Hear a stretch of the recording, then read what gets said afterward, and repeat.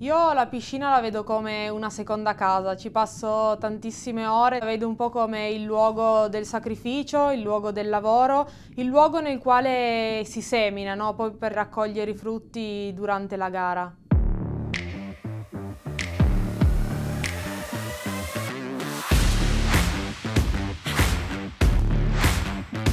Carlotta non ha un carattere determinato, è proprio un caterpillar Carlotta. Nel momento in cui è stata scoperta la malattia poteva andare in crisi e non, non rivalersi, invece fortunatamente è riuscita da un problema a farlo diventare un punto di forza e aver ottenuto quello che ha ottenuto fino adesso.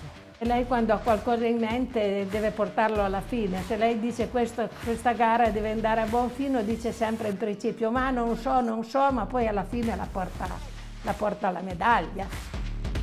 La mia specialità nel nuoto penso che sia prevalentemente lo stile farfalla che nuoto fin da quando sono piccolina insieme allo stile libero.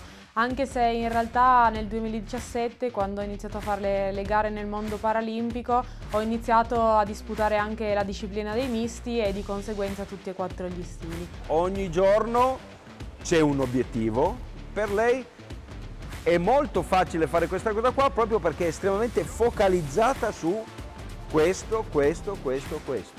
Non è maestro allievo, è maestro maestro, perché anche lei è una maestra, sotto tutti i punti di vista.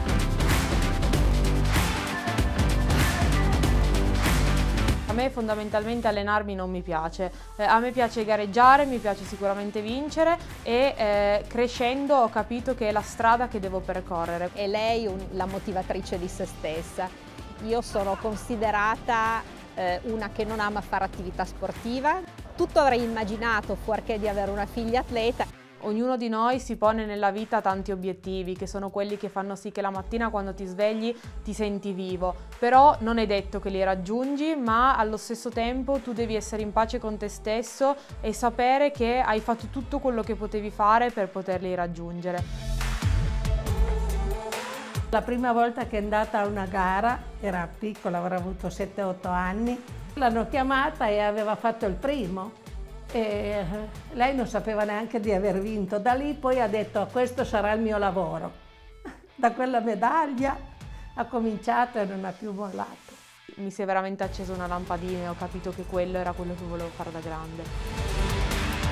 Nella mia disciplina la prima cosa che vorrei veramente che andasse verso l'innovazione è sicuramente nell'ambito del paralimpismo e sicuramente l'approccio che tutte le famiglie che hanno bimbi con disabilità eh, devono avere. Non devono pensare a dei bimbi fragili ma dei bimbi normalissimi, magari nuoteranno in un modo leggermente diverso da quello che è il canone normale, però quello non è assolutamente importante, loro devono andare in piscina, devono nuotare e devono divertirsi.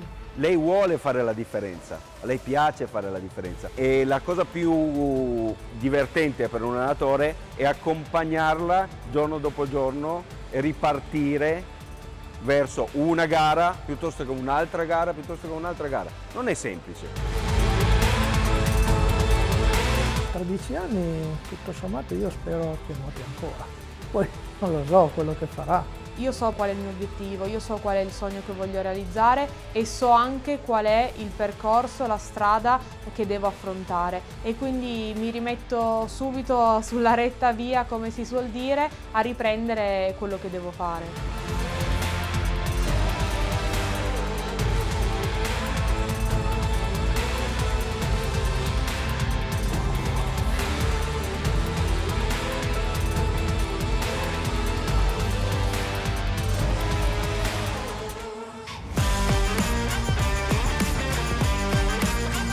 Charlotte quando non nuota è una classica ragazza di 22 anni